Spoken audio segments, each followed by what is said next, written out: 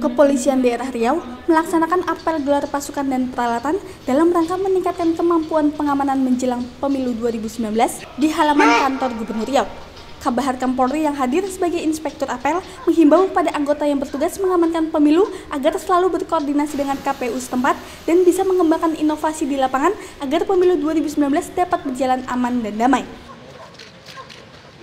Nah, kompleksnya itu kan banyak berbagai macam masalah aturan tadi undang-undangnya, masalah peralatannya, masalah manusianya, kan itu sangat kompleks sekali. Nah sehingga itu perlu harus inovasi-inovasi yang harus kita lakukan. Contoh tadi setiap masuk harus HP-nya ditinggal, dipilih. Ini kan inovasi-inovasi. Kenapa? Kalau dia nanti dia kan bisa moto orang per orang nanti dia datang ke orang dia yang aku udah milih kamu ini. Dia minta duitnya. Terjadi money politik nggak gara-gara itu? Nah kayak gitu-gitu juga mencegah sudah. Tapi jadi rumit bagi KPPS kan tambah kerjaan. Itu yang saya maksud. Tambah kerjaan apa?